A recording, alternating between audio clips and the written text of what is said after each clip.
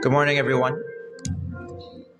Welcome to Bangya Baptist Church, and we praise and thank the Lord that we're all gathered here today, in spirit and in truth, to worship the Lord.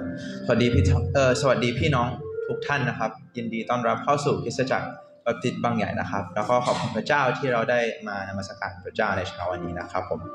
I will give everyone a moment of silent prayer as we prepare our hearts and minds to worship the Lord this morning เดี๋ยวเราจะอธิษฐานเป็นการส่วนตัวกันนะครับผม เดี๋ยวเราจะร้องเพลงแรกของเรานะครับ โอ้เจ้าแห่งดวงจิตเป็นนิมิตของข้า We will sing our first song Be Thou My Vision May I please request everyone to sing it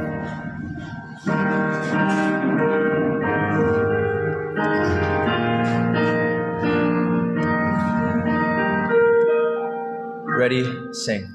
Be thou my vision, O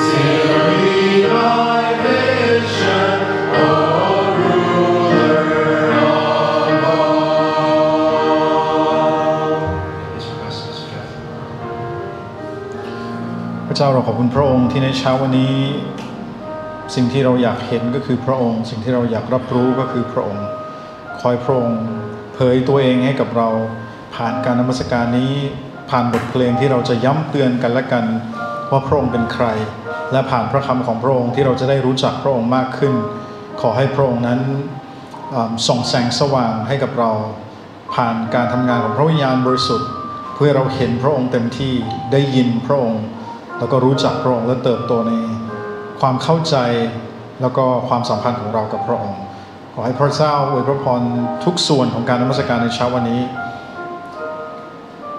Father, we thank you that the first thing we want to see this morning is you. So I pray that you would fill our eyes and our hearts with who you are through these songs that we're about to sing so that we can be reminded and remind each other of who you are. And most of all, Lord, as we open up your holy word, that you would reveal yourself fully to us so that we would grow in our knowledge of you and our lives would be conformed to who you really are. I pray that you would bless each part of this worship this morning, that whatever we do will bring glory and honor to your name. This is our prayer in Christ's name.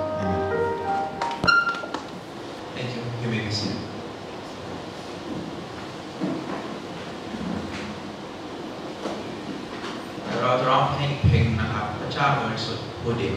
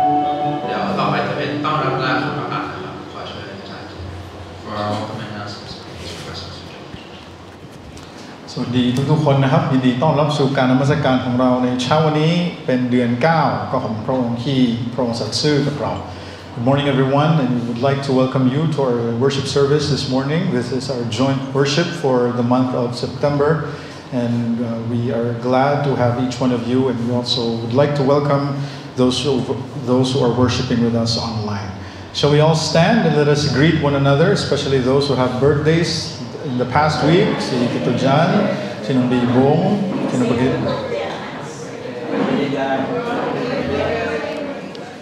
Okay, happy birthday tanan. Um, ก็อยากจะขอบคุณเอ่อพี่นาเดียนะครับที่เมื่อวานได้มาทำความสะอาดเขามาทำคนเดียว Selamat tak isang Nadja sa pagpanglimpyo dari kagapon. Siya lang isa, so siya lang niyaton pasalamatan. Hindi dapat. ah, ari sinang ibong gapon? Abi ko sinang Nadja lang. Doa sila gali. Sorry. Kasi Miss Minchen wala gapon mo. Te, abi ko wala na sinang ibong. Doa sila gali. And thank you also for uh, offering our flowers. ขอบคุณเจ้าภาพของเราด้วยนะครับ วันนี้วันอาทิตย์ที่ 2 เป็นกลุ่มพี่น้องคนไทยกับพี่นัทแล้วก็ลุงชิมครอบครัวผมคาริซาแล้วก็นาตาลีนะครับ Uh, thank you also to our food sponsors this uh, Sunday, our second group with the Thai brethren, upod kay Miss Minchin kag kay Miss Natalie. Um, for our announcements, uh, I think this afternoon, after our D groups, we'll have our uh, regular Sunday school. But before that, I think the venue committee is ready to ready gid man mag follow up sa aton karon ang venue ma Okay, so before our Sunday school, we'll give time, a little bit of time for our updates, uh, um, venue for our family camp, so that if we're ready to decide, um, we can decide right away so that we can uh, start making reservations for our family camp by year end. Okay, um, so that will be our activities for today. And also, please continue to pray for our English camp. That's our life camp this coming October 16 to 19, and the Romprakun Workers Retreat in Chiang Rai on October 24 to 27. And uh, also, please do pray for uh, Achan and Madame Esther. They have a ticket already booked uh, to come back here on September 27. Um, please pray for God's traveling mercies for them kag uh, kabay pa makakita sila balay para buligan yung pupaliyog hakot sa um, kadamo-damo na lang gamit arada sa second floor. You can see for yourself if you want to. Okay, so uh, I think amo lang nato mga pahibalo today. Um, before we listen to God's word, um, I've asked Dr. MJ to introduce our s- uh, new song for the Thai. It's a familiar song. It's an Eng- it's it's an English song pero gin-translate naman sa Thai. Uh, that's why gusto ko introduce pa-introduce sa iya subong para masugod niyo na magkanta next week. Kaya arap, kami lang, arap lang kami sa Job chapter 3. So ini nga kanta para ni sa Job chapter 3. So the song is I Will Wait For You. เพื่อแนะนำเพลงใหม่สำหรับอ่าโยบนะครับที่เราจะร้องอาทิตย์เริ่มอาทิตย์หน้าผมได้ขอ MJ นะครับที่จะร้อง เพลงแนะนำเพลงของเราเพลงมีชื่อว่าอ่าข้าจะคอยพระองค์จากสดุดีบทที่ 130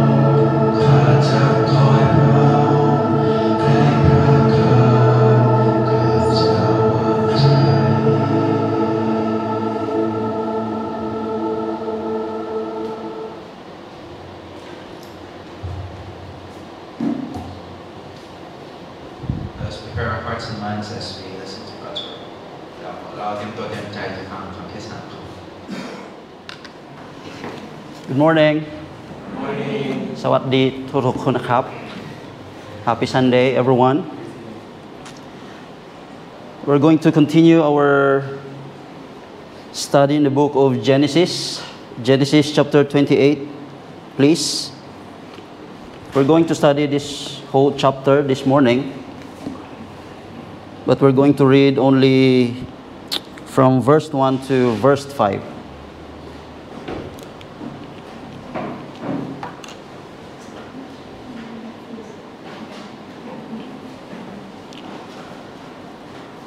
Genesis chapter 28, verses 1 to 5. We're going to read this all together. Ready? Start. Then Isaac called Jacob and blessed him and directed him You must not take a wife from the Canaan- Canaanites women. Arise, go to Padan Aram to the house of Bethuel, your mother's father and take as your wife from there one of the daughters of Laban, your mother's brother. God Almighty bless you and make you fruitful and multiply you, that you may become a company of peoples. May He give the blessing of Abraham to you and to your offspring with you, that you may take possession of the land of your sojournings that God gave to Abraham. Those Isaac sent Jacob away, and he went to Padan Aram to Laban, the son of Bethuel, the Aramean, and the brother of Rebekah, Jacob's and Esau's mother. Let us pray. Our Father, this is your word, and you cast it out upon our hearts like a seed. Lord, we ask that uh, by the grace of the Holy Spirit, that this seed would grow up in the fullness of, of, of faith. And Lord, we're asking for your help. Help us, Lord, to understand this passage, and not only in its original setting, but to understand what you have to say to us this day. By this word, this we ask in Jesus' name. Amen. The covenant continues. Oh, this uh, Jacob's journey of faith. Oh, so this is the title of our message this morning. And I think it is safe to say that most Christ followers have, at some point sa ilang uh, Christian journey, they felt a degree of uncertainty concerning sang ilang uh, relationship with, with God. And perhaps the uncertainty was the result of falling into some sin which wounded their conscience and grieved the Holy Spirit. Uh, because we all know that living in this sin will certainly have a negative impact upon one's confidence in, in Christ. Or perhaps it was an attack of the evil one that caused the despair. Uh, and it is even possible that there was no obvious explanation for the lack of assurance. Uh, and sometimes these seasons of spiritual darkness are inexplicable. Uh, and now it may be that ikaw kag ako have experienced a season of uncertainty, no, nga kaangay sini. And it is even possible that you are experiencing one now. No? And if you have not in, experienced this in your past and are not in the present, and it is possible that ikaw kagat ko at some time in the future, makabatyag sa ginatawag nga God is distant. No? Nga makabatyag kita nga ang Ginoo is malayo sa akon, sa aton.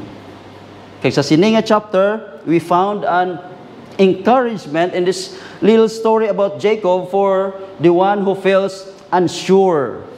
And there is light for the sojourner who feels as if darkness has overtaken them and as if God is distant. For Job, or for, for, for Jacob, this must have been a difficult time or dark days para sa iya. Ah? He must have been extremely uneasy or felt very unsure as he made his way to toward Haran. No? Ang lugar that was either no, foreign para sa iya or unfamiliar para sa iya. And he, he left his home in the promised land. No?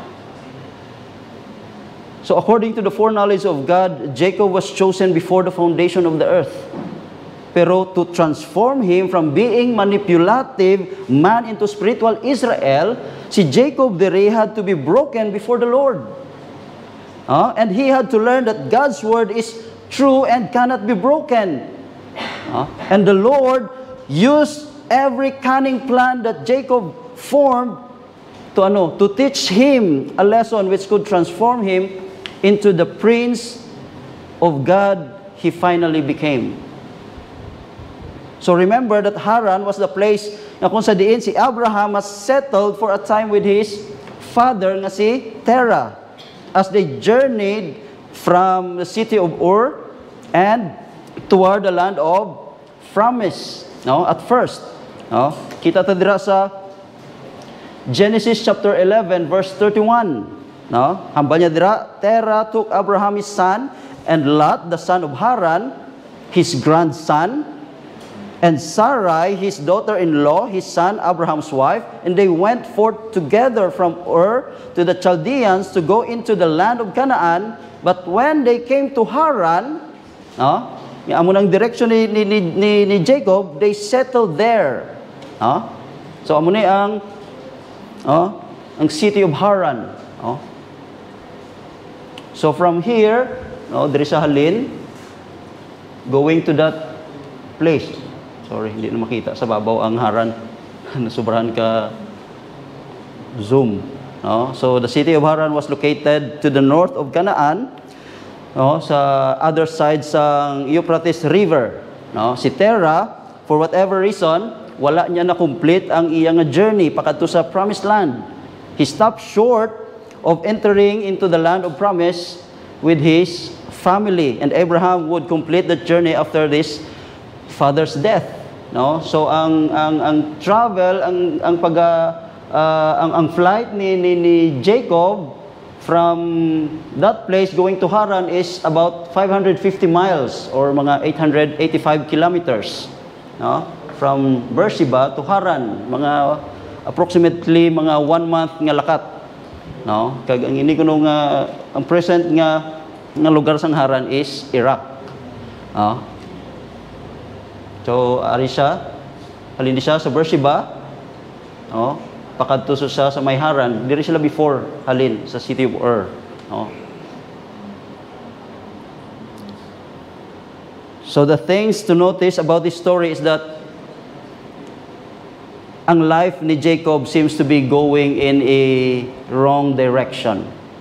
No?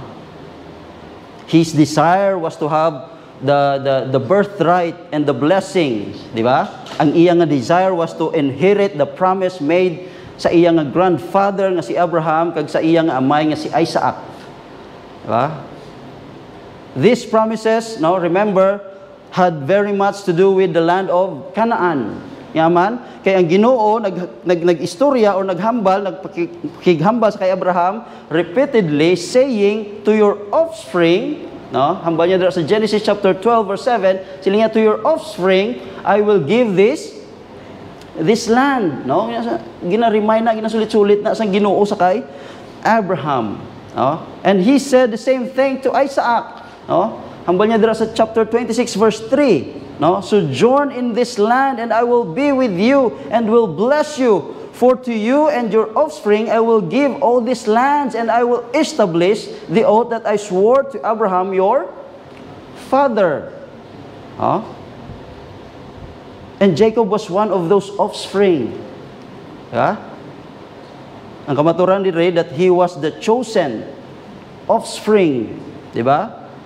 And, and, and, and yet now he is leaving the land that was promised to him no? in exchange for Haran, And that place where his, his grandfather nga si Terah, ano na tabo dira? He was, he, he, he was stuck many years earlier. Di ba? And Jacob must have felt confused during this time, unsure, and hambal ka gani dira, afraid. And it is impossible to know no, what exactly was going on inside sa kay sa kay Jacob. But ang sigurado dire that his soul must have been in turmoil. No? Think of what he had just done. Di ba? Balikan ta bala ang mga ginhimo niya. He took part in the wicked scheme to deceive his own father. Diba? He took advantage of, no? Sang sang kaluyahon sang iya nga amay. He tricked him in his old age. Diba? Kung tanaw naton ang law sang Ginoo, hambal niya dira. No, in Exodus chapter 20 verse 12, ang hambal sang law sang Ginoo is honor your father and your mother that your days may belong in the land that the Lord your God is giving you. Ang ini nga law was written by the finger of God and delivered by Moses sa mga Israelites, no? Many years after sang, no? Jacob lived. But this law was not invented in the days of Moses, no? And indeed, it is a part of that moral law that was written upon Abraham's heart. No? In the beginning, no? kung tanaw natin lang sa Romans chapter 2, uh, I can sulat.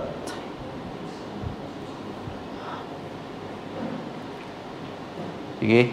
Buksin nyo lang dira ang Romans chapter 2 verses 14, verse 14. Ah. Kumbal niya dira, for when Gentiles who do not have the law by nature do what the law requires. Dira, they are a law to themselves even though they do not have the law. So this verse is part of Apostle Paul's letter sa mga Romans.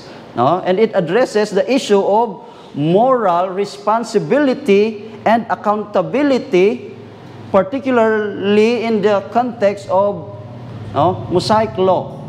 No? In essence, si Paul diri is making the argument that even even among Gentiles or ang hindi mga Jews, di ba? Who did not have the law, uh, have the written Mosaic law, and there is a sense of moral conscience or awareness. Sila they may not have the law in written form, but they still have an inmate understanding of right and and wrong. And this inmate moral sense is often nag-refer ini to the law written on their heart. So ang point rin ni Paul is that God's moral standards are evident not only sa mga written law uh, given to the Jewish people, but also in the conscience of all humanity. Uh, and therefore, even those who have not been exposed sa mga specific nga pagtudlo sa Mosaic law are still accountable for their moral choice because they have the basic understanding of what is right and what is wrong. So ang ining verse, ang Romans chapter chapter 2 verse 14 is significant in discussion about morality, accountability, and the universal nature of moral principles, suggesting that all people, uh, regardless of their cultural or religious background, have a basic moral compass that informs their action and choices. So ang buot silingon that even Jacob was bound to keep it, no? Ang ini nga law. And he was to honor his father and mother. And this principle would have also applied para sa iya. Di ba? Ang ambal sa, sa sinanga verse that your days may belong in the land that the Lord your God is giving you. And ano makita ta diri? Jacob violated this law. Di ba? And now he is experiencing a kind of exile, no? From from the land having been sent away, no? To to Haran. So as I said, these were dark days para sa kay Jacob. Kaya man he dishonored his father. He, he participated in his mother's sin. And he swindled his brothers yet again. And the result was, anong result? Separation from his family and from the land that he he loved. Di ba? Natunan naton sa sa nauna nga nga nga, nga chapter, di ba? Nga tungod sini wala na sila nag no, this is the last days nga nagkitaan nila sang iya nga nga amay kay after sini no wala na sila kitay di ba the result was separation from his family and from the land that he he loved so para sa aton nga application sin has his effect. No? Tandaan tagid na. That when we violate God's law it brings division. No? it disrupts and disturbs the peace. And it leads to dark places. No? And though it may be true that your or, or our sins are washed away paagi sa aton pagtuo sa kay Kristo Jesus no tandaan tagihapon that sin still has consequences earthly and natural consequences And here, in this little episode, we learn that Jacob reaped what he saw. No? Pag-aaniho niya di ang iya nga mga gin, gintanom. He saw dishonor and deceit. Ano ang iya nga ginani? Division. Nagtanom siya, no? He was divided from his family and from his from his land but but in the same episode we also see that God was gracious sa kay Jacob no the favor of the Lord that was set upon him even before he was born remained upon him despite his his sin no hambal tagani natunan tagani last month nga ang plano sang Ginoo is still intact no wala yan naguba ya ang plano sang Ginoo para sa sa kay Jacob but still intact. No? Ang favors ang Ginoo that was set upon Jacob even before he was born remain no? despite his his sin. Clearly this favor was unmerited. Di ba? And Jacob was obviously undeserving. But God had set his love upon him and nothing could change that. No? God spoke to his mother, si Rebecca, while he and his older twins brother were still in the womb, saying, no, the older shall serve the younger. And elsewhere, the scriptures say that God loved Jacob, but ano no, Esau, he hated. No? Kita tada sa Malachi chapter 1 verse 3 and Romans chapter 9 verse 13. No? That Jacob was chosen of the Lord and Esau is not. And is apparent in this in this story. No? And let us briefly compare and contrast the si Jacob kag si Esau before getting to the to, to, to the heart of this of this passage. No? I-compare naton sila nga duwa.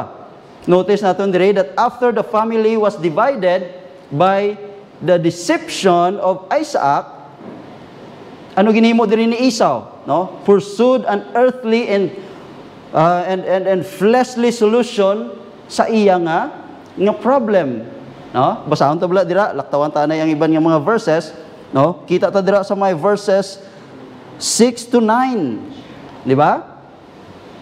Amo na ang i-notice natin diri that after the family was divided, no? By the deception of Isaac, si Esau diri, pursued an earthly and fleshly solution para sa iya nga problem. No, hambal niya dira sa my verses 6 to 9, no? Now Esau saw that Isaac had blessed Jacob and sent him away to Padan Aram to take a wife from there, and that as he blessed him, he directed him, You must not take a wife from the Canaanites' women.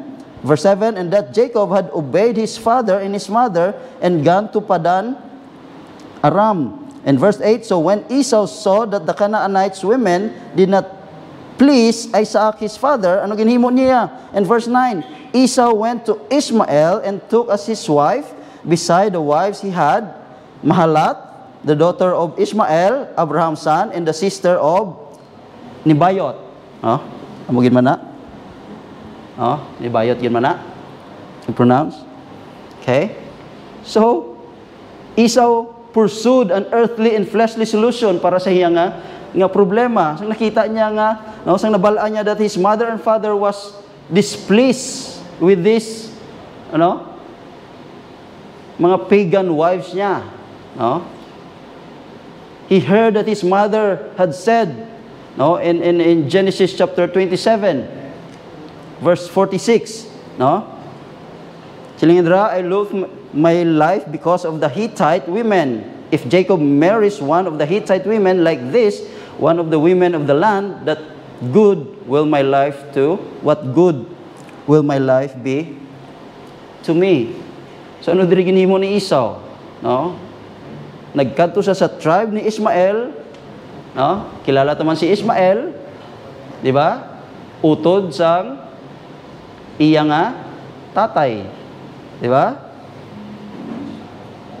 Kagano ginhimo niya, no? Nangita man siya sang hindi man tuod mga taga-Kanaan nga asawa, no?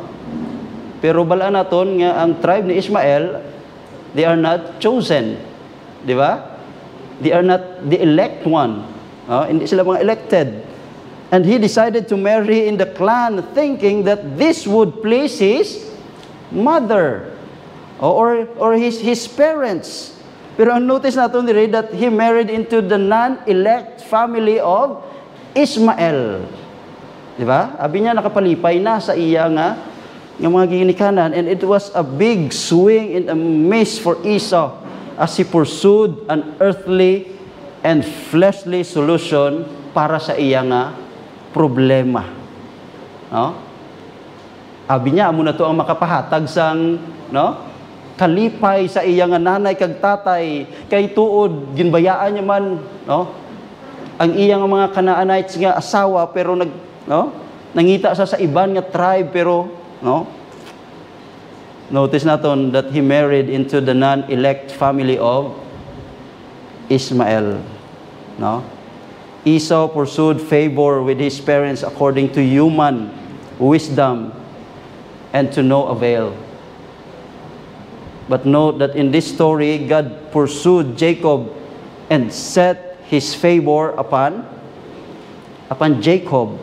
And God pursued Jacob to reassure him, to, to comfort him, and to call him to the constant and faithful walk with, with God.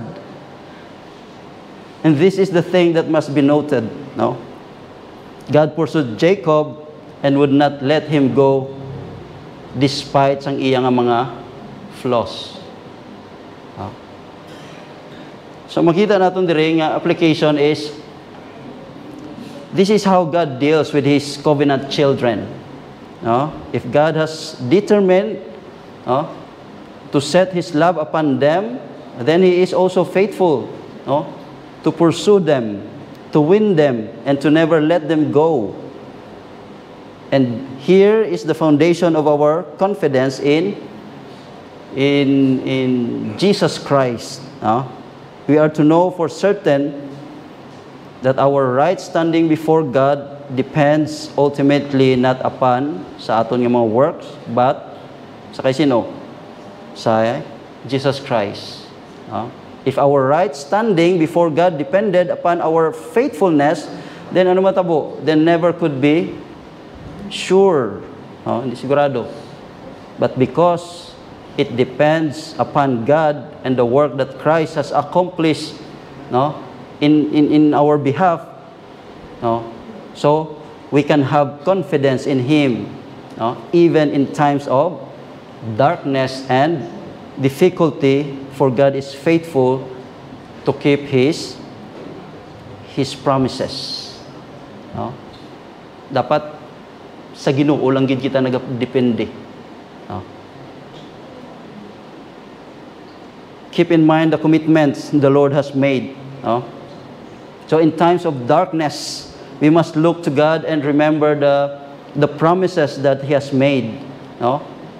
Kung ang kabuhi gani, it grows difficult and we begin to to feel uncertain, no? Ano yung muna ton? We must look to God and to His Word. And it is there that we will find an immovable foundation on which to stand. Kaya nga man, kaya ang atong Ginoo is faithful. Kaya ang iya nga, nga, nga word is sure.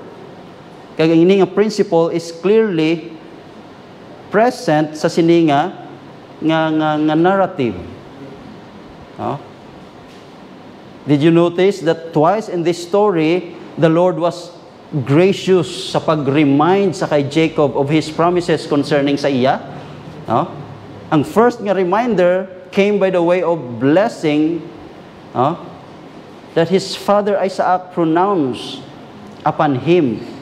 Di ba? Kita na sa first verses sa sininga chapter. And the second reminder came by way of ano? A dream. Di ba? Diri sa last part sang sininga chapter. No, basahan ta in verse 1 and 2, Isaac called Jacob and gave him the instruction. Hambal niya. Then Isaac ah, called Jacob and blessed him and directed him, and you must not take a wife from the Canaanites women. Huh? It is in verses 3 and 4 that we find Isaac pronouncing a blessing upon Jacob until siya maglakat for the region of Padan Aram. And more specifically, specifically to the city of Haran. And there, Isaac speaks to Jacob, ang hambal niya dira sa, sa verses 3 and 4. Oh. Sila niya dira in verses 3 and 4, God Almighty bless you and make you fruitful and multiply you that you may become a company of peoples. May He give the blessing of Abraham to you and to your offspring with you, that you may take possession of the land of your sojourning that God gave to Abraham. And this was a very significant moment. No? It was significant not only para sa kay Jacob, but also sa iyang amay nga si Isaac. Hingaman. Diri, makita naton that si Isaac was no longer determined to give the blessing to Esau. Ngati, amo lang paborito niya nga anak.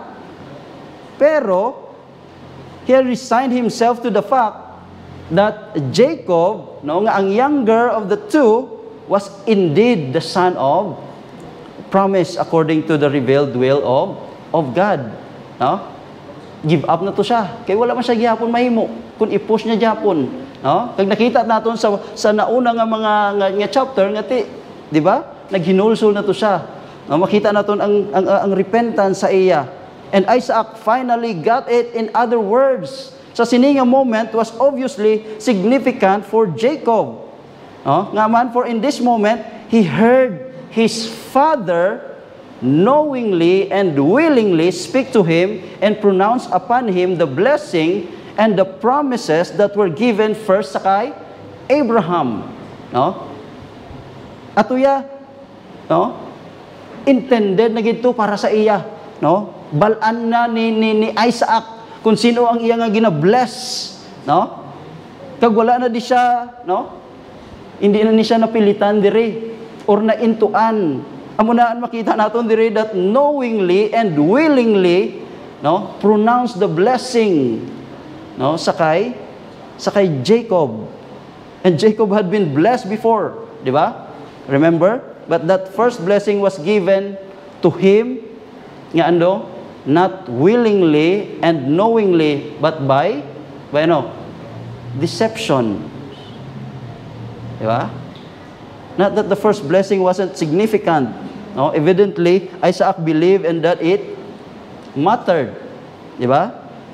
But Jacob must have wondered if he was really blessed of the Lord, no, that first, no, given the way that he got the blessing, no. Di ba, makapaminsa to siya, ngati, basi atong una, do, basi hindi tutuod, no, basi wala gid man kutugin blessing Ginoo, no. No? But given the way that he got the blessing, no? Here, he was blessed by his father knowingly and willingly. No? Do ka nami, no? Hindi nga daw, hindi ka nami gid sang, sang, sang, sang feeling. Di ba? Di ba may mga may mga regalo bala kung kaisa nga o sige na lang, imo na lang ni. oh, hindi ni tani para si imo, puro ti- sige ay ikaw imo na lang ni, ah, kay way man di siya. No? Nami gid kon, oh, ini regalo para gini sa imo ya.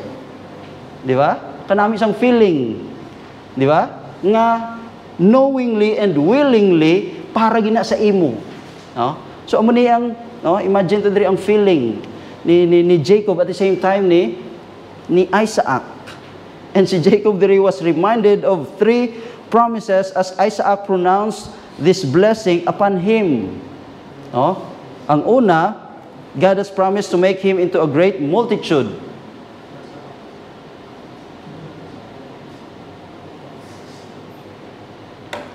Oh, una dire that God had promised to make him into a great multitude and he would have many descendants. No, ikadua dira, no, this offspring of his of his would be blessed, no, and they would be a blessing to the nations. And then ang ikatatlo diri, these descendants would possess the land of promise, no, the land in which si si Abraham, si Isaac, and now si Jacob sojourn, di ba? Ang ini nga mga promises were not new, no? Hindi ni siya mga bag-o nga mga promises, no? They were given first sa iyang uh, lulo nga si Abraham, kag sa iyang uh, amay nga si Isaac. Kag sa sini nga moment sa kay Jacob, no? Watch his father and the father that he had not long ago deceived, knowingly and willingly ginhatag ini nga promise sa sa iya, no? In in verse 10 through 15, no?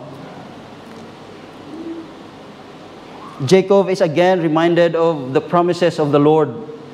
But sa siningation, the reminders came into a form of a dream. No? Ambal niya sa may verse 10. Jacob left Beersheba and went toward Haran, and he came to a certain place and stayed there that night because the sun had set. No, I think we are to feel the loneliness. No, kag ang uncertainty sa kay Jacob as he find himself. No, sa sining mga tinion. No, without a place nga mastayhan. No, as a darkness overtakes him. No, and then hambal niya pagidira padayon nga verse in verse 11, taking one of the stones no, of the place, he put it under his head and lay down in that place to to sleep. And this was common for no, sa mga shepherds to do as they slept in the open field no, para lang ma-elevate ang ilang uh, ang ilang uh, ulo. No? Kita ta dira in verse padayonon ta dira in verse 12. Basa ta dira in silingan dira and he dreamed and behold there was a ladder set up on the earth, and the top of it reached to heaven. And behold, the angels of God were ascending and descending on it. And behold, the Lord stood above above it. No? Kita diri, what an awesome sight this must have been. Diba? The heavens were opened before Jacob. And then ano nakita niya diri? A vision of the Lord. Kag ang traveling upon traveling up and down on this ladder were ano? Angels. No? Kung kita ihan makakita sang amuni, di ba? Kulbaan na ta kay ti, basi sugat na. ha? Bisan tulog ka gani, kita ka lang sang suga ato galigin buksan lang ang suga mo, abi mo, uy, hala, sugat na ko. no? Now, what did this vision mean? No, ano ang butilingon sa sininga vision? Well, the words that God spoke to Jacob helped to clarify the meaning of this vision. Oh, padayunon ta basa sa verse 13 to 15. No, basahon ta dungan, ready, begin. And behold, the Lord stood above it and said, I am the Lord, the God of Abraham, your father, and the God of Isaac. The land on which you lie I will give to you and to your offspring. Your offspring shall be like the dust of the earth, and you shall spread abroad to the west, to the east, to the north, to the south. And in you, your offspring, shall all the families of the earth be blessed. Behold, I am with you, and I will keep you wherever you go, and I will bring you back to this land, for I will not leave you until I have done what I have promised you. No? Notice natin diri ang lima ka mga butang about this vision and the word of the Lord spoke to to to Jacob. No? Una dira, Jacob saw the Lord who revealed himself as the God of his grandfather nga sa Abraham kag sang iya nga amay nga si Isaac, no? Bangay Baptist Church family kag mga online viewers, nothing in our lives will be right until we know the the Lord. Nga man, we were created to know Him, to live in obedience para sa iya and for His glory. Kaya nga man, for He is our Maker.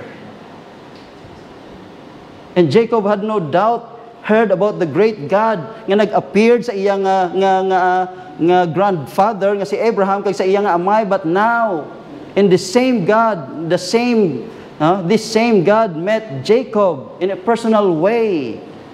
And this was a life-changing experience para sa kay para sa kay Jacob. No? take special note of this no tandaan ta ni that the Lord revealed himself to Jacob no? and this is the way that it always goes no?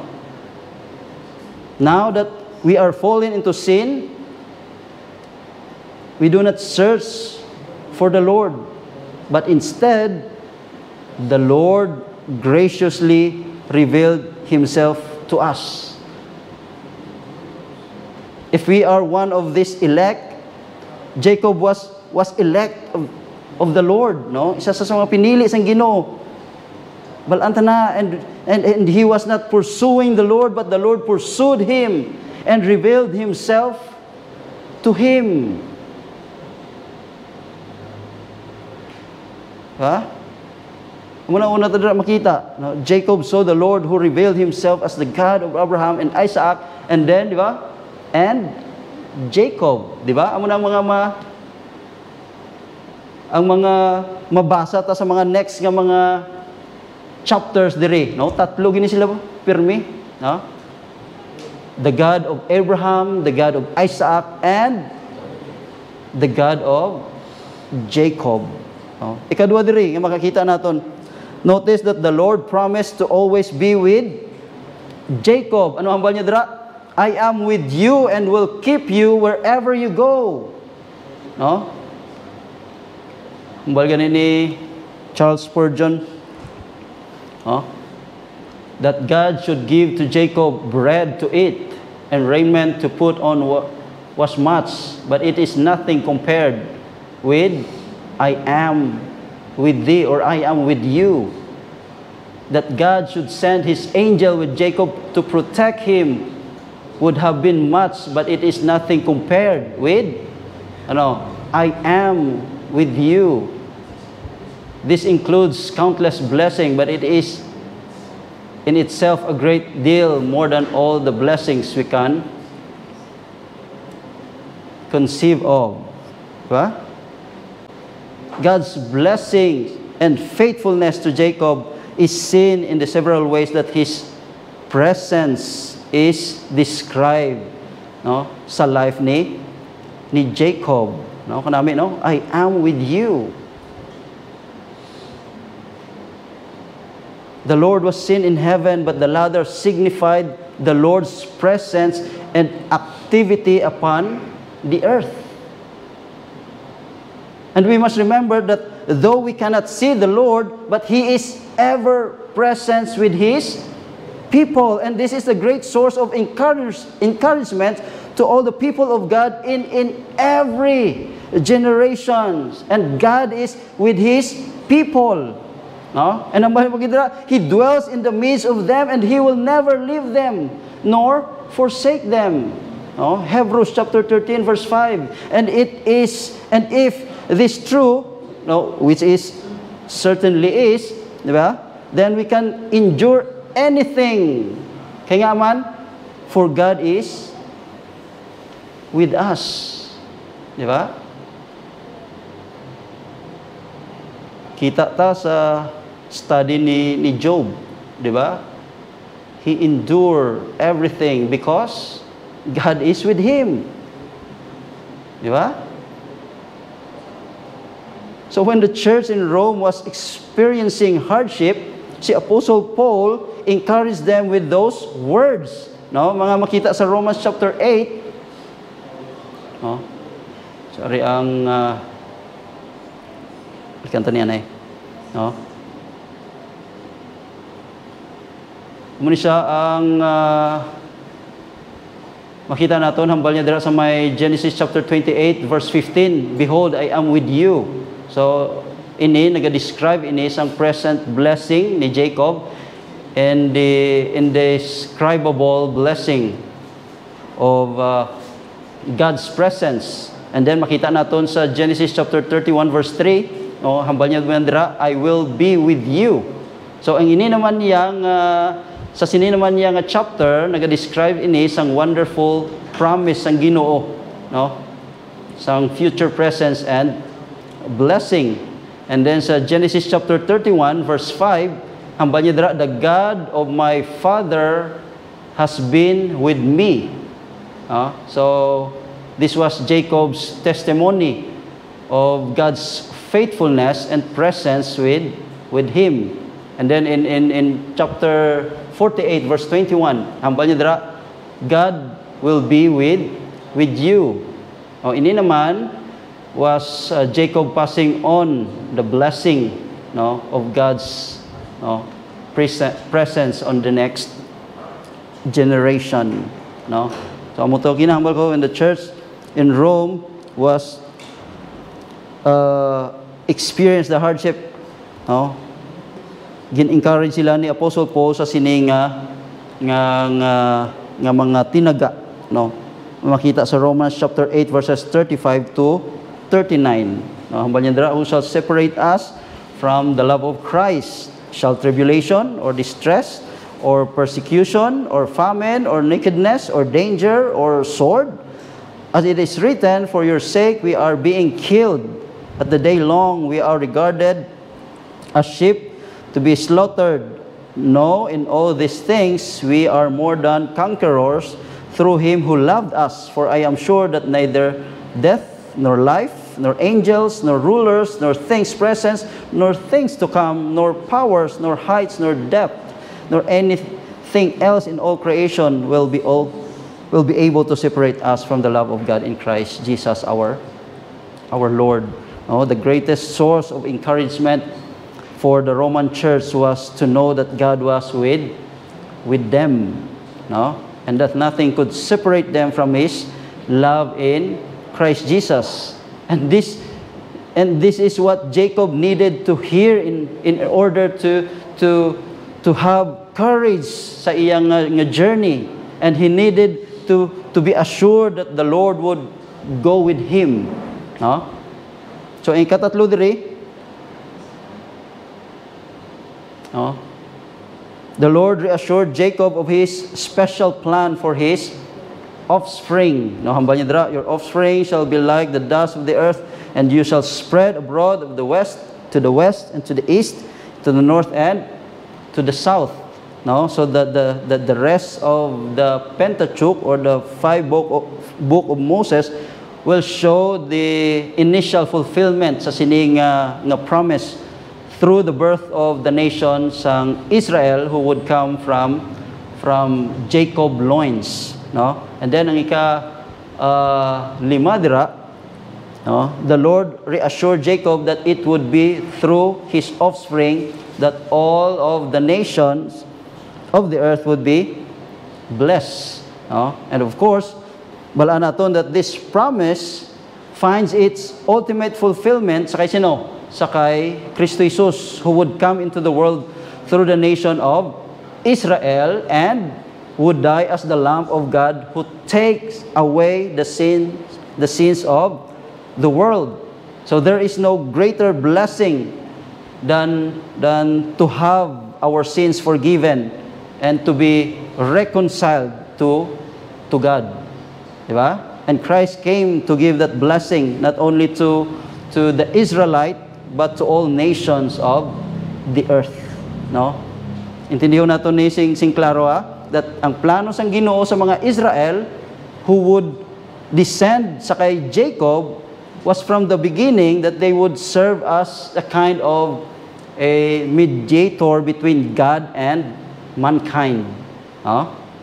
Kaya ang Ginoo sang no, the God of heaven determined to make a way sa mga katawhan sa sininga kalibutan to be reconciled to him. And this he would do in the land of Israel paagi sa mga tao sang Israel who would descend halin sa kay Jacob no so indeed the ladder that bridges the gap between heaven and the earth signified this very thing no? kung basahon naton sa John chapter 1 verses 43 to 4 to 51 Oh, John chapter 1 verses 43 to 51. Oh. Diri makita naton that Christ interpretation sa sininga vision that was shown sa kay Jacob of the ladder to heaven and the angels ascending and descending upon it. No? Hambal niya dira sa sininga nga, nga book. No? The next day Jesus uh, decided to go to Galilee Diri kita niya, he found Philip and said to him, "Follow me." Now Philip was from Bethsaida, the city of Andrew and Peter. And Philip found Nathanael and said to him, "We have found him of whom Moses in the in the law and also the prophets wrote." And Jesus of Nazareth, the son of Joseph, Nathanael said to him, "Can anything good come out of Nazareth?" Philip said to him, "Come and see." And Jesus saw Nathanael coming toward him and said of him, Behold, an Israelite indeed in whom there is no deceit.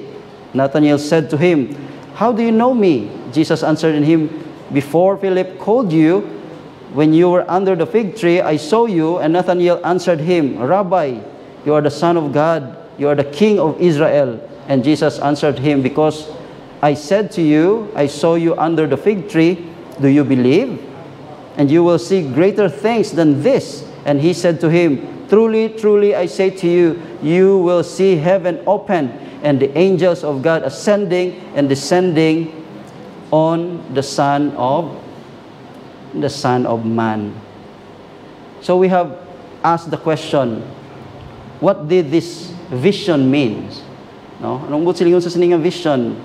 And we would be no, wise pay careful attention to to Jesus explanation sa sininga book sa sininga mga nga chapter and verses no? In in in in John chapter 1 verse 43 no? Sa so, 51 ma-learn naton dira that a man named Nathanael na ano siya na amaze siya because Jesus knew that he was set, sitting under a fig tree sang si Philip had approached him Kag ang response diri ni Nathanael sa kay sa ginhambal ni Jesus Christ, anong hambal niya dira? Rabbi, no? you are the son of God, you are the king of Israel. And then listen again to the response of of Jesus sa kay Nathanael. No? Hambal ni Jesus sa iya, because I said to you, I saw you under the fig tree, do you believe? And you will see greater things than this. Truly, tru- truly, truly, I say to you that you will see heaven open and the angels of God ascending and descending in the Son of, of Man. Kaya sa sini, klaro diri nga si, si, si Kristo Jesus was referring to this chapter of Genesis chapter 28 that we are considering today. I-notice natin diri that Jesus spoke of heaven being opened and of angel ascending and descending. Di ba? Pero strangely diri, wala diri may na-mention nga ladder. Di ba?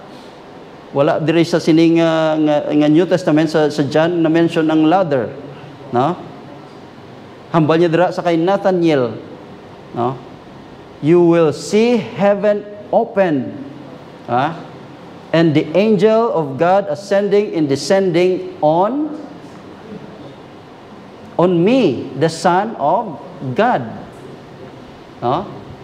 Amo na ang ginahambal niya dira on the Son of God. Who is this Son of God nga gina, ginahambal niya diri? Si Jesus Christ. No? So, sino ang ladder diri nga ginamin?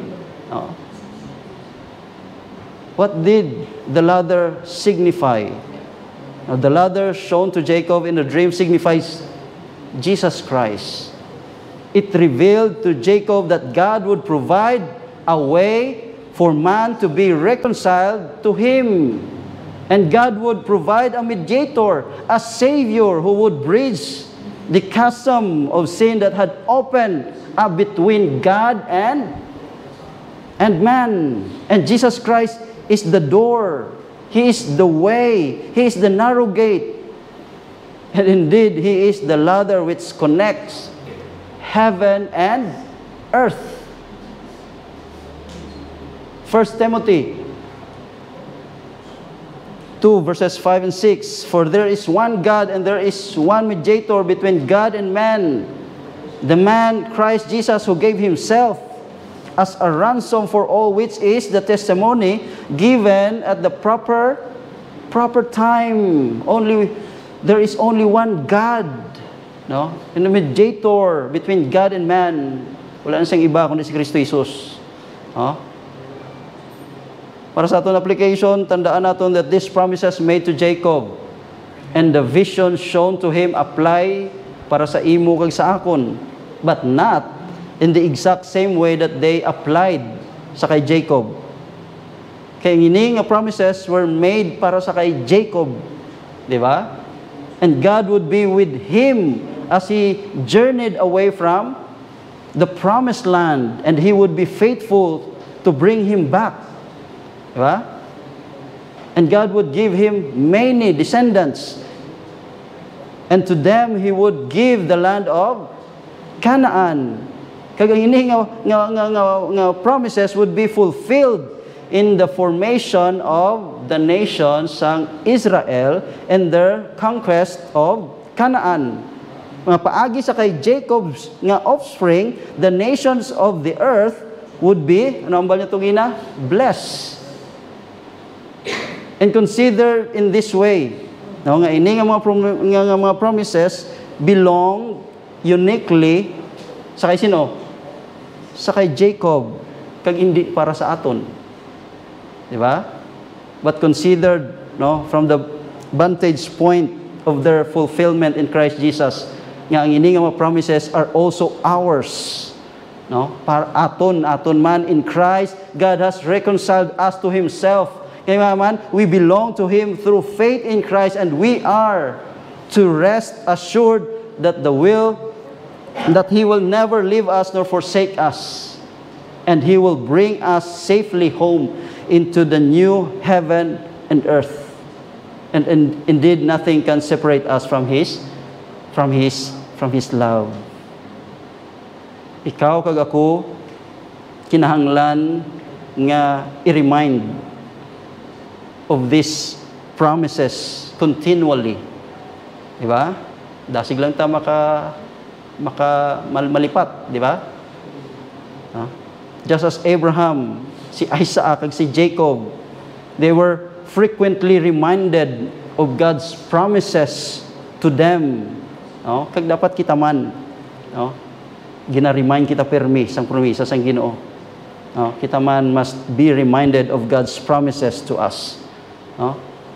Stated differently, but we must be reminded of the gospel. We must be reminded of that good news that through faith in Jesus the Christ, we find the forgiveness of our sins. And we must be reminded that good news that though we were once children of wrath, now we are the children of, of God. And we must be reminded that the God has promised to never leave nor forsake us. And ang kanami pagidiri that He will finish the work that He started in us. And He will bring us safely home. For we are Christ's beloved bridge. Or beloved bride, if indeed we have been united to Him by faith and cleansed by His, by His, by His blood. So the gospel is not only something that we need to, to hear at the beginning of our Christian life, no? but always and until the Lord calls us as home. That's gospel. So the gospel I am referring to the full is Christ-centered gospel that was preached from all the scriptures no, by the first disciples of Christ. Ang ina nga gospel is always something that we need to be reminded of. Kaya ang ina nga gospel is the very basis of our assurance before before God. So in times of difficulty and darkness, this is what we need more than anything. No?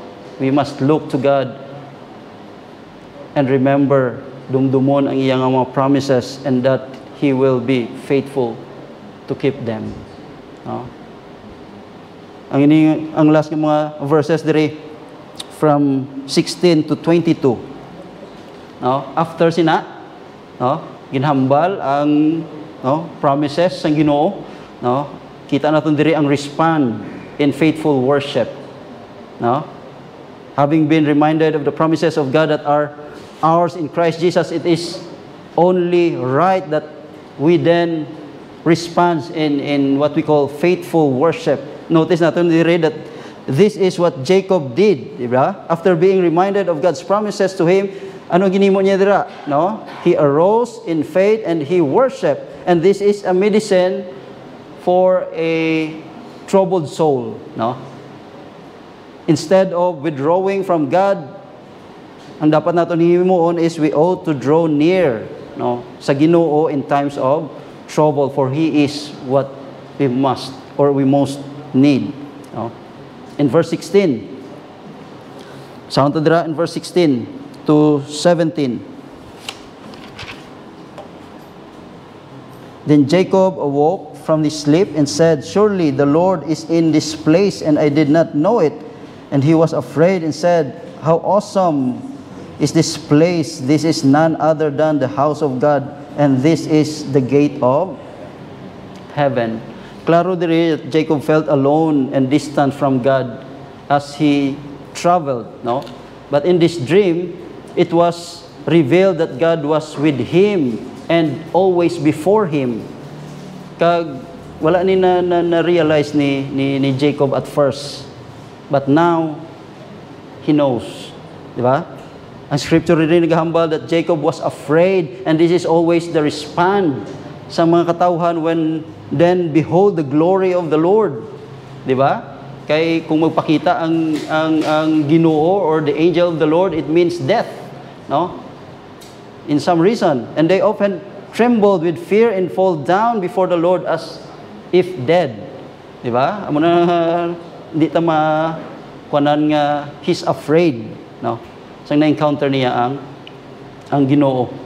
So ang aton diri nga nga application sa sini is no ikaw kag ako would be wise to live a life mindful of the fact that the God of glory is in fact no ever before us no the radiance the radiance of this glory is typically hidden no sa aton man nga mga panulok but his but this does not change sang kamaturan that he is always before us and we live our lives before his face no kay nga man kita tanan sang Ginoo balaan tanan sang Ginoo and he is everywhere present namin pagidro ang pag-describe niya that God is awesome Ah, the fear of the Lord is the beginning of wisdom. Consider natin diri ang response ni Job in verse 18. No?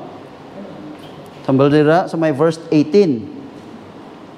So early in the morning, Jacob took the stone that he had put under his head and set it up for the pillar and poured oil on the top of it. And he called the name of that place Bethel, for the name of the city was Luz at the first.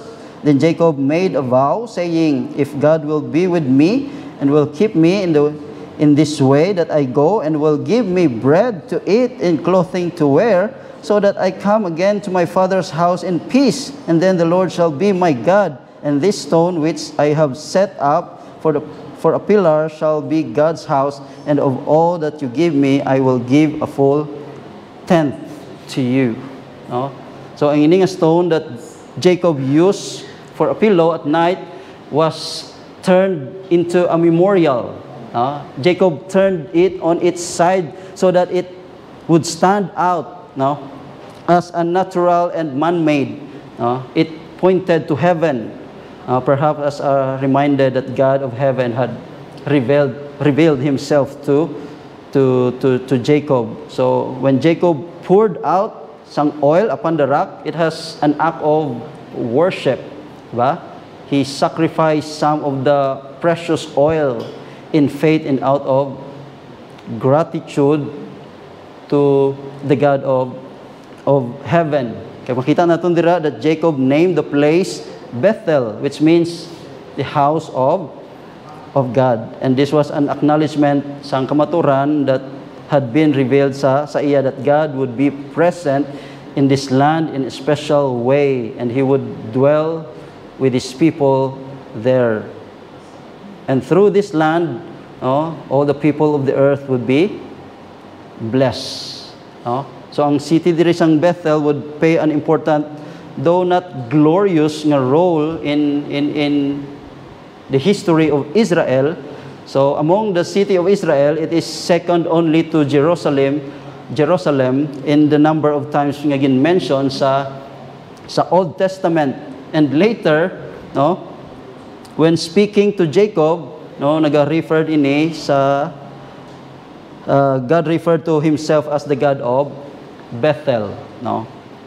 So Bethel would eventually, no, muning subo, no, Bethel would eventually become a high place known for a place of sacrifice sa mga idols.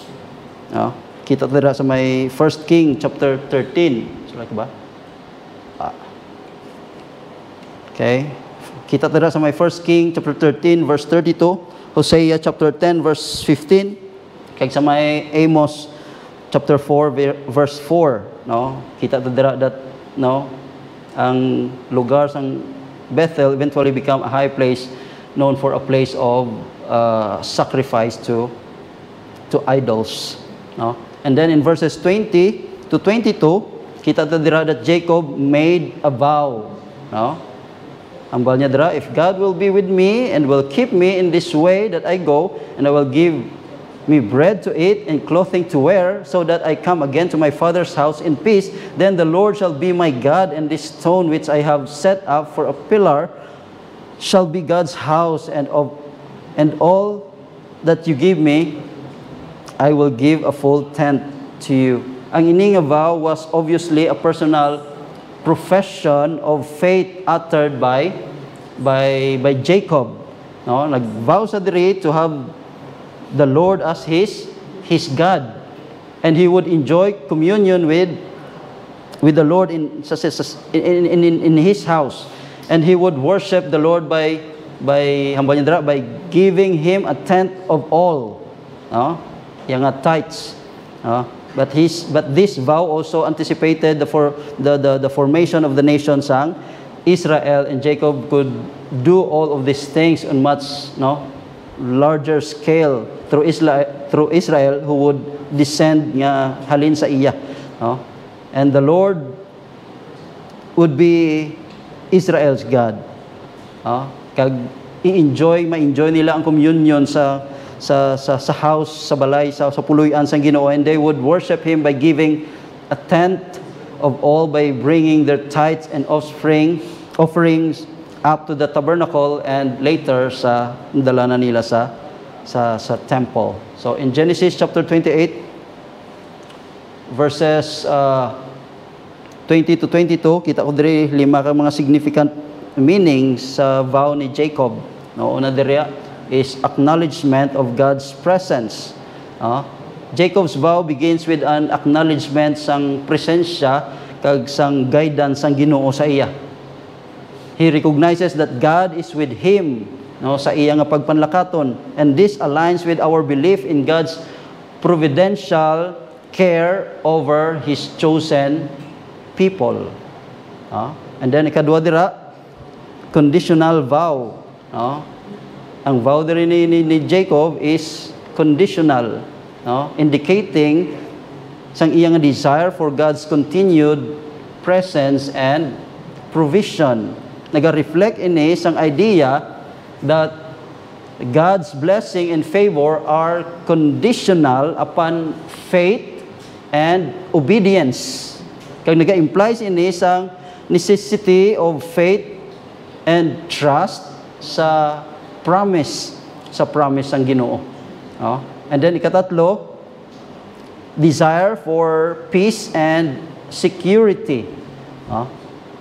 Jacob expresses his desire for God to keep him safe, no? Provide for his that God will provide for his basic needs, no? Ang mention niya ginadra bread and clothing and ensure ang peaceful return sa iyang pagbalik sa puluyan sa iyang amay. No? Muna ang iyang desire for peace and security. Kag ini naga-reflect sang recognition of God's role in providing providing for and for protecting his his his people. No? And then ang ikaapat dira, yung nakita ko sa vow ni ni Jacob is ang commitment to covenant relationship. No? Ang ginhambal niya dira, then the Lord shall be my God. No? So, kita natin dira that Jacob is making a commitment to serve and worship the God who has been faithful sa sa iya. Kag ini naman naga-reflects sang emphasis on covenant relationship between sa Ginoo kag sa iya nga mga pinili, no? Where faith and obedience are reciprocated with God's presence and and blessing. And then ang last din nga nakita ko is faith in God's faithfulness. So ang vow din ni, ni Jacob implies his faith in God's faithfulness to uphold his end of the covenant promise no? or covenant promises. No? Kumbaga, it acknowledges that God is the ultimate source of blessings and security sa iyang nga, nga kabuhi. That's why, ang iyang uh, response dira, that's why he said in the last part of verse 22, ambal niya dira, I will give the full tenth of, uh, full tenth to, to you. No?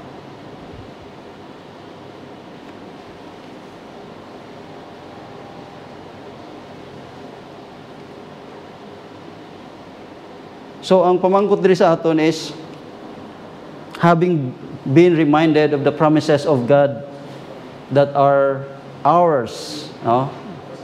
In Christ Jesus. Ang pamangkot diri, will you respond in worship? Will you rise up even in times of darkness and despair? To give God the glory? Will you honor Him as your covenant Lord and God? And this you decided to do at the start of the Christian life, but may I suggest to you that this is something you must decide to do continually day by day. No? Ano himuon. No? So in conclusion, we can see in this text or in this chapter, chapter 28, is ang covenant faithfulness, a divine providence, human response, stewardship, continuation of the covenant. No? Covenant faithfulness. No? Ang ining chapter underscores God's covenant faithfulness in reaffirming no, sang iyang promesa sa kay Jacob. No? Just as he, he had with Abraham kag sa kay Isaac ang ini nag and ini nag-highlights sang enduring nature sang sang Ginoo no? or, or sang covenant sang Ginoo despite sang shortcoming naton nga mga nga mga katawhan.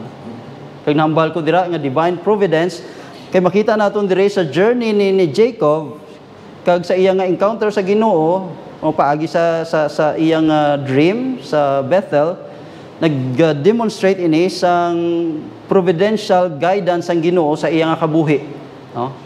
Kag sa mga chosen people sang Ginoo naga-reflect ini sang aton nga belief in God's sovereignty over human human affair no? And then ikatatlo dira ang ang human response no? Kita dira ang ang ang response ni ni, ni, ni Jacob sa revelation sang Ginoo includes acknowledging sang presence sang Ginoo uh, and and concentrating sa sa sa place and making a vow, di ba? And this emphasizes the human responsibility of recognizing and responding uh, to God's covenant faithfulness. And then ang ikapat dira stewardship. Oh, kita ta dito sa last part, yun, sa verse 22, that Jacob's vow to tithe from all God provides no, is an act of stewardship, no, reflecting the concept of respons- responsibly managing God's blessing for His purposes. Oh, and then ang last dira makita naton is the continuation of the covenant. No? Ang Genesis chapter 28 sets the stage of the continuation of God's uh, covenant promises paagi sa lineage ni ni, ni, ni Jacob. And this aligns with the emphasis on generational blessing and the passing down of faith from one generation to the next generation. No? So muna yung makita, nakita ko nga mga important theme, no? In-emphasize sa sininga chapter. So in times of difficulty and darkness, this is where we need to be. No? Many have a propensity to run and hide when the goes or when the going tough when the going gets tough no? so instead we ought to draw near no? we ought to draw near to the lord and we ought to come into his house to to hear his word no? proclaiming and to be reminded sa iyang mga promises so we ought to come and worship no? for the lord is faithful kag he is worthy sang aton nga mga pagdayaw let us pray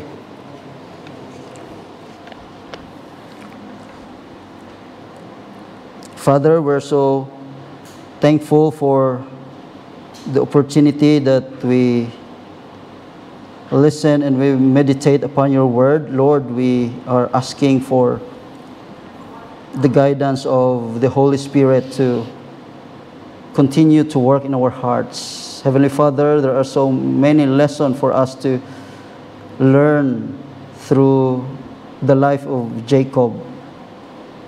And Lord, we pray that we would not become so familiar or familiar with, with, with the Bible stories that we fail to learn the deep, deeper lesson they, they, they teach and apply them to, to our life. Lord, teach us your will.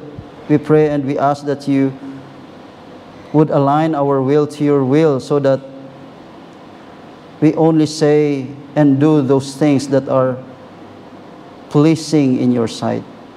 Lord, keep us also from expressing unbelief in your word by trying to sort out our own problem in our own way rather than trusting you to fulfill all that you have purpose. Thank you, Father God, that you work all things together for, for good, even when we stray from the path of righteousness. Lord, keep the eyes of our hearts looking to Jesus alone. And this we ask for His name, in Jesus' name. Amen.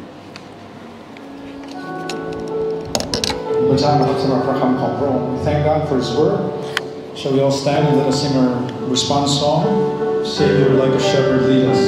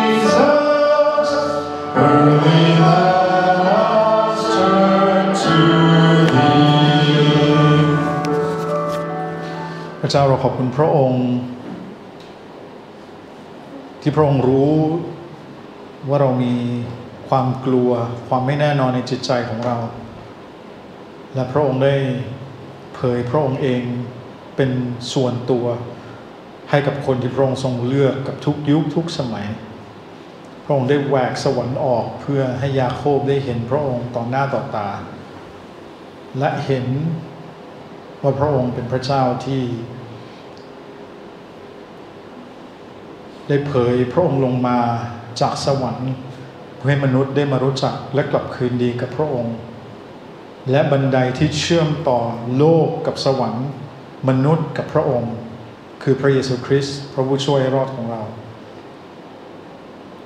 และตามพันธสัญญาของพระองค์ พระองค์ได้ส่ง บันไดที่เชื่อมต่อนี้และคนกลางนี้ก็คือพระเยซูเพื่อเรานั้นจะได้มีความสัมพันธ์กับพระองค์ สร้างสัมพันธ์กับพระองค์ และรักษาความสัมพันธ์นี้ไว้กับพระองค์ ผ่านพระเยซูคริสต์ขอบคุณสำหรับพระพรของการนมัสการนี้ ขอบคุณสำหรับพระพรของการสมัคคีธรรม และการได้มารับใช้พระองค์ร่วมกัน ขอให้พระองค์ได้รับเกียรติกับทุกสิ่งที่เราทำและขอให้เราเดินด้วยความสัตย์ซื่อกับพระเจ้าที่ทรงสัตย์ซื่อกับเราเสมอ Father, we thank you that you are the God who reveals yourself to every person that you have chosen through all the ages. That you have opened heaven so wide for us to see where you are and who you are, and for us to see this ladder that connects heaven to earth, that connects God to a sinful man. And this ladder by which we can come to you is through your Son, Jesus Christ. That through what He has done and who He is, Lord, we can be reconciled with you, the one and only mediator between our sinfulness that can be forgiven and be reconciled with you through Him. And so we thank you, Lord, that we can have this relationship with you and we can maintain this relationship with you through your Son, Jesus Christ. We thank you for the blessings of your word, the blessings of this worship and this fellowship. May you receive all the glory and the honor for everything that we have said, sung, and done today before your presence. And may we walk in faithfulness to you, our God, who is always faithful and who is always with us. May the love of God the Father, the grace of our Lord Jesus Christ, and the fellowship of, our Holy, of the Holy Spirit be with us all. Amen. เราจะร้องเพลงพรุ่งนี้นะครับ We're going to sing this Thai song